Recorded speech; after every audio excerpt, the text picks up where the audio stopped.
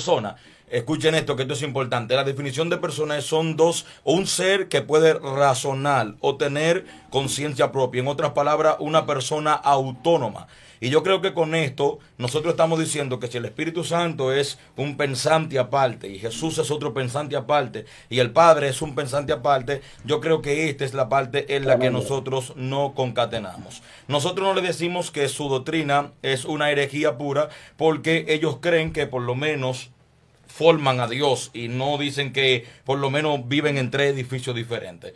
Pero decir que tres personas componen a un Dios, para nosotros es una falta de respeto directa para el Padre como creador. Una falta de respeto. Claro, decir que tres personas conforman a Dios, como comenzó nuestro hermano Valey, que lo repitió dos veces y así me di cuenta que no era un error, que tres personas conforman a nuestro Dios, eso yo lo siento grave. Guardia, pero tú le estás diciendo en otra palabra que le está faltando el respeto directamente al Padre. Bueno, Valey es mi amigo, yo estoy atacando sus argumentos precisamente. O sea, vale, usted una falta de respeto. De hermanos, eh, Dios me les bendiga de una manera muy, pero muy especial. Este video me lo han enviado, les soy sincero, unas aproximadamente cuatro, cinco, seis veces, pidiéndome la opinión con respecto a estas declaraciones que ha dado en un debate el evangelista Steven Javier, en donde en el video, como ustedes pueden ver, eh, lo tratan de y todas estas cosas, porque lo que él ha mencionado en este video es doctrina modalista. Es doctrina modalista. Eh, Steven Javier, para los que de pronto no saben y solamente han visto este video, Steven Javier es una persona que cuando va a predicar la palabra, él siempre menciona al Padre, al Hijo y al Espíritu Santo como tres personas distintas. Hago esto a manera de aclaración, pero esto ya él lo salió aclarando en un video. Lo otro es que él ha llevado enseñanzas con respecto a la Trinidad. Este es un debate de Trinidad versus unicidad, en donde Hermano, los ánimos se acaloraron un poco. Si usted mira el, debate completo, le recomiendo que lo vea en YouTube. Creo que lo borraron precisamente por este suceso. Pero Steven Javier salió diciendo, yo no soy modalista unicitario, yo no soy sabeliano. Yo no me he vendido, yo no me he cambiado de doctrina. Los que me conocen saben de que eh, Siempre, hasta cuando voy a leer la Biblia, menciono al Padre, al Hijo y al Espíritu Santo. Pero yo sí quiero hacer la aclaración con respecto, hermano, a las declaraciones que dio Steven Javier. Las declaraciones que dio Steven Javier en este video es de la doctrina modalista unicitaria sabeliana. Es de esa doctrina. Los que de pronto se conocen como los solo Jesús o Jesús solo mis santos hermanos, la Biblia dice que en Dios no hay sombra de variación. Dios no cambia, Dios no muda. Pero los unicitarios modalistas tienen este concepto que Dios primero fue modo Padre, después modo Hijo y ahora es modo Espíritu Santo y después va a volver a ser modo Padre. Y referente, hermano, lo que dijo el hermano Steven Javier, eh, creo pensar de que fue por la calor del debate. Creo pensar que fue por esto que de pronto él dijo esto, se enredó. Creo, quiero pensar eso. Pero en caso de que no sea así, en caso de que no sea así, yo quiero hacer una aclaración como pastor trinitario referente a esta situación. Los trinitarios no predicamos que existen tres dioses. No predicamos eso. Creemos que existe un solo Dios, Padre, Hijo y Espíritu Santo. Vamos a leer Mateo capítulo 12, verso 31. Vamos que dice la escritura aquí. Por tanto os digo, todo pecado y blasfemia será perdonado a los hombres, mas la blasfemia contra el Espíritu no les será perdonada. Cualquiera que dijere alguna palabra contra el Hijo del Hombre, le será perdonado. Pero al que hablare contra el Espíritu Santo, no le será perdonado, ni en este siglo, ni en el venidero. Haciendo alusión a esto, mire, el que peca contra el Padre tiene perdón. Y aún el que peca contra el Hijo. Entonces, a Jesús le preguntan, ¿cuándo será tu venida? Los Jesús solo dicen, Jesús es Dios. Jesús es el Padre, dicen ellos. Pero a Jesús le preguntaron, ¿cuándo será tu venida? Y resulta de que ni el Hijo sabe cuándo va a ser su venida, porque él tiene que esperar órdenes de su Padre. Entonces los modalistas unicitarios, que creo yo, hermano, que han envuelto a, a Steven Javier, lo están intentando convencer de su doctrina. Eh, dicen de que Jesús es el Padre. Cuando usted lee de pronto cartas, cartas, mis hermanos, cartas, eh, por poner un ejemplo, como Romanos, Romanos capítulo 1, Pablo, siervo de Jesucristo, llamado a ser apóstol, apartado para el Evangelio de Dios, que él ha prometido a sus profetas en las Santas Escrituras, acerca de su Hijo. Dios tiene un Hijo, ¿ah? Dios tiene un Hijo. Nuestro Señor Jesucristo. Pero ellos dicen de que nuestro Señor Jesucristo es el Padre.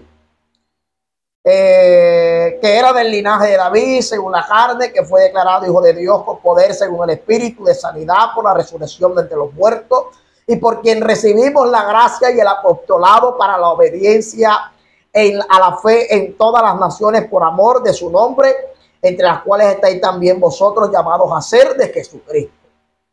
A todos los que estáis en Roma, amados de Dios, llamados a ser santos, gracia y paz a vosotros. ¿De quién? De Dios nuestro Padre y del Señor Jesucristo. Recordemos de que ya el Espíritu Santo está con la iglesia. Entonces decir de que no existen tres personas distintas en la naturaleza de Dios es una locura. Mis hermanos, es una completa locura. Los apóstoles nunca predicaron eso. ¿Qué necesidad tenía Pablo de hacer referencia a Dios y después a Jesucristo? Y del Señor Jesucristo. Es decir, está hablando de otra persona.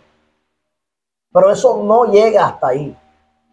Si Jesús fuese el Padre, cuando resucitó, tendría que seguir siendo el Padre porque es que ya no tiene sentido seguir siendo hijo. Hermano, si es una sola persona, cuando resucitó, ¿para qué va a seguir siendo padre? Tendría que seguir siendo hijo. Mis hermanos, cuando Cristo resucitó, siguió siendo hijo. María lo fue a tocar y le dijo, eh, eh, eh, no me toques. Aún no he subido a mi Padre todavía. Ve a mis hermanos y a vuestro hermano y diles que yo resucité, porque yo voy a mi Padre. Pero Jesús le dicen que Jesús es el Padre. Steven Javier en esta ocasión está diciendo de que es una sola persona. Mis hermanos, Jesús dijo en Juan 8:16, porque no soy yo solo, sino yo y el Padre que me envió. Recordemos de que ya el Espíritu estaba en Cristo. Según Isaías dice, porque el Espíritu de Jehová el Señor está sobre mí. Y entonces, mis hermanos, pero ahí no queda todo. Usted quiere saber qué pasó en el capítulo 20 de Juan, cuando Cristo le dice a María, no me toques porque aún no he subido a mi Padre. Usted quiere saber qué sucedió. Porque es que los modalistas dicen de que es el Padre, de que Jesús es el Padre. Pero resulta que cuando Jesús llega al cielo, los modalistas no quieren reconocer de que allá estaba el Padre. Y a ese que ellos tanto llaman Jesús, el Padre, no es el Padre. Veamos qué dice la Biblia. Porque lo que aconteció cuando Cristo subió, escúcheme bien porque esto es poderoso, subió al cielo, hermano, a donde estaba el Padre, aquí lo menciona la Biblia. Y hay dos personas distintas. Y vamos a leerlo completo. Mira lo que dice la escritura. Y dice el texto de la siguiente manera. Esto es una visión que está teniendo Juan. Y vi en la mano derecha del que estaba sentado en el trono un libro escrito por dentro y por fuera. Ese que está sentado en el trono es el Padre. Mira lo que dice la escritura. Sellado con siete sellos. Y vi un ángel fuerte que pregonaba a, gran voz, ¿quién es digno de abrir el libro y de desatar su sello? Y ninguno ni en el cielo, ni en la tierra, ni debajo de la tierra podía abrir el libro, ni aún mirarlo. Yo lloraba mucho, porque no había hallado, no se había hallado ninguno digno de abrir el libro, ni de leerlo, ni de desatar su sello. Y uno de los ancianos me dijo, no llores, he aquí el león de la tribu de Judá, la raíz de David, ha vencido para abrir el libro y desatar sus siete sellos. Y miré y vi que en medio del trono y de los cuatro seres vivientes y en medio de los, de los ancianos estaba en pie un cordero como inmolado. ¿Quién es ese cordero? El que vio Juan. He aquí el cordero de Dios que quita el pecado del mundo. Jesucristo. Y aquí muestra de que no es el Padre. Pero vamos a seguir leyendo. Eh, un cordero como inmolado que tenía siete cuernos, siete ojos, los cuales son los siete espíritus de Dios enviados por toda la tierra. Y vino y tomó el libro de la mano derecha del que estaba sentado en el trono. Y cuando hubo tomado el libro, los cuatro seres vivientes y los veinticuatro ancianos se postraron delante del Cordero, porque la Biblia lo estableció así. Que, el Padre le dio a Jesús un nombre que es sobre todo nombre, en el cual se doblará toda rodilla de lo que está en el cielo, en la tierra y debajo de la tierra. Por eso los 24 ancianos se postraron y tendieron sus coronas.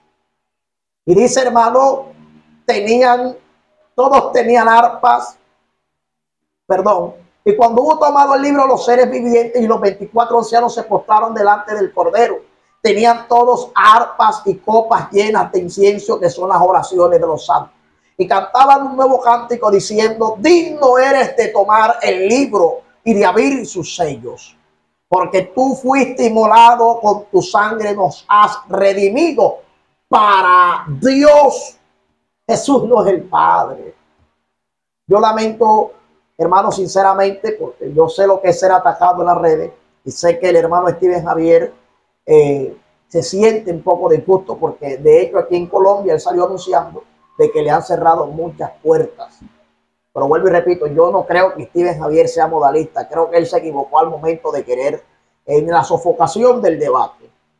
Y dice, con tu sangre nos ha redimido, el verso 9, eh, para Dios de todo, de todo linaje y lengua y pueblo y nación, y nos has hecho para nuestro Dios reyes y sacerdotes, y reinaremos sobre la tierra.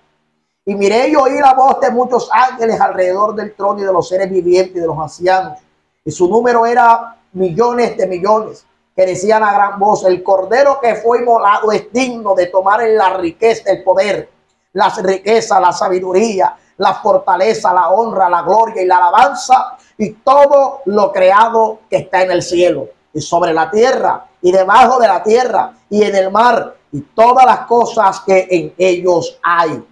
Oí decir al que está sentado en el trono y al cordero. Está mencionado. Oye, los 24 ancianos están viendo dos. Los ángeles están viendo dos. Porque el Espíritu está con la iglesia. ¿Ah? ¿Y cómo dicen ellos de que no existe Espíritu Santo, de que no existe el Hijo, sino que todo es uno solo y es el Padre? Cuando la Biblia está mencionando, oye, en el mismo cielo, los ángeles están viendo al, Padre, al Cordero, al que está sentado en el trono y al Cordero. Ese y, y está denotando a otra tercera persona, hermano. Oí decir al que está sentado en el trono, coma, y al cordero sea la alabanza, la honra, la gloria y el poder por los siglos de los siglos. Los cuatro seres vivientes decían amén.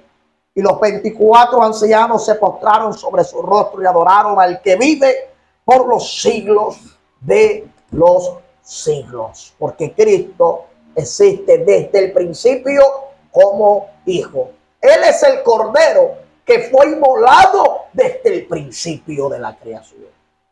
Él es la sombra. Perdón, Él es lo que había de venir. Él es el cordero que sacrificaron para cubrir la desnudez de Abraham. Cristo es el cordero que Dios ha sacrificado para cubrir el pecado de esta humanidad. Mis hermanos, eh, estén pendientes porque les voy a subir el video donde Steven Javier se retracta y explica de que él no es unicitario modalista, pero también dice de que él no es trinitario. Entonces, mis hermanos, esto es un tema bastante delicado.